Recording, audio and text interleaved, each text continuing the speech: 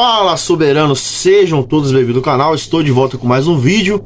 O São Paulo tem uma das partidas mais importantes do ano, vai enfrentar o Atlético Goianiense fora de casa em Goiânia pela Sul-Americana. A partida vai acontecer nessa quinta-feira, às nove e meia da noite. Vou trazer a escalação, transmissão, vou trazer todos os detalhes da partida. Então, se você for novo no canal, se inscreve, ative as notificações, deixa o like compartilha para todo mundo e se inscreva no canal se não for inscrito também, beleza? E também deixa seu comentário aí embaixo, que é muito importante.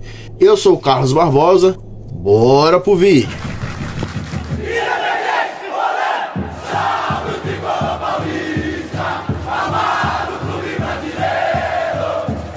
Para você que só entrou neste vídeo para saber onde vai passar o jogo, o jogo vai ser transmitido de forma exclusiva pela Comebol TV. Então você vai ter que assistir pela Comebol com imagens ou se não, colocar no Google Fute barra Max, é tiro barra, também vai passar o jogo. Também tem uma rapaziada que faz transmissões aí no Facebook, tem meu Facebook aí na descrição, certamente por lá vai aparecer o link também. Ou você colocar aí no Google, ou colocar no YouTube, melhor dizendo, coloca Atlético de Goiás versus São Paulo, que vai aparecer também transmissões, beleza? Então, seguindo o vídeo, o São Paulo realizou na manhã desta quarta-feira o último treino antes da partida de ida da semifinal da Copa Sul-Americana contra o Atlético de Goiás.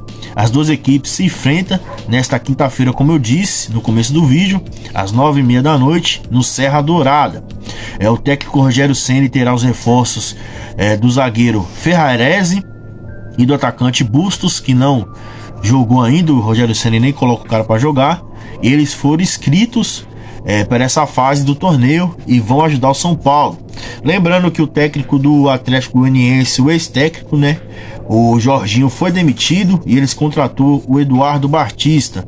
Eu acho que foi um grande erro. Eu acho que aí eles assinaram que vão ser eliminados pelo São Paulo, porque em vez de manter o trabalho, já mandou o cara que levou eles para a semifinal da, Sul-Americana embora. Aí fica difícil para eles, né? Mas a, o São Paulo tem nada a ver, a gente tem nada a ver. O importante é o São Paulo passar.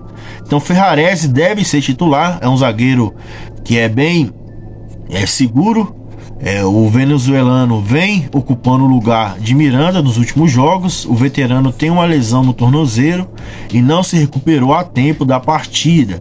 Grande desfalque o Miranda, bom zagueiro, né? Um zagueiro aí que é um dos jogadores mais identificados com a torcida nesse atual elenco, junto ali com o Calério e o Luciano. Outro retorno provável é do volante Gabriel Neves, que treinou normalmente durante a semana, após se recuperar também de uma lesão no tornozelo.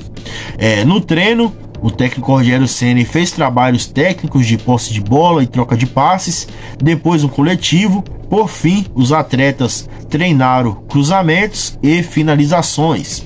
Então, com isso, um provável São Paulo para o jogo de quinta-feira tem Jandrei no gol, que eu acho que é um erro. Tinha que colocar o Felipe Alves, mas tá insistindo com o Jandrei que não tá bem. Na zaga, Diego Costa, Ferrarese e Léo. Na lateral direita, Igor Vinícius, que tá bem. Na esquerda, Reinaldo. No meio de campo, de volante, Gabriel Neves. Aí vem o Nestor ali um pouco mais à frente. E o Igor Gomes, insistindo com o Igor Gomes, é impressionante. O Rogério só pode ser pai dele.